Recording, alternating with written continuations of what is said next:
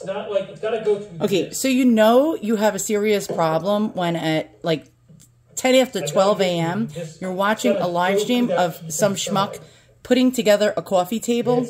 And uh, apparently, I can't stand this YouTuber, by the way. He irritates and annoys and aggravates the fuck out of me. But that's how pathetic and sad my life is.